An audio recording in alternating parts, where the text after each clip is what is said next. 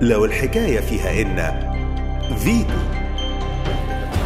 خلص في احترام المؤتمر آه، المؤتمر بالنسبة لنا السنة دي اسمه the challenge أو التحدي هو التحدي الأكبر فيه كان آه، الناحية التنظيمية. يعني كانت أكبر مشكلة عندنا في مؤتمر السنة اللي فاتت الناحية التنظيمية العدد الكبير جدا اللي جه وكان في مشاكل كتير جدا في التسجيل وفي الدخول فالسنه دي كان التحدي بتاعنا إن إحنا نعمل تنظيم. كل الناس الحمد لله بتشكر فيه.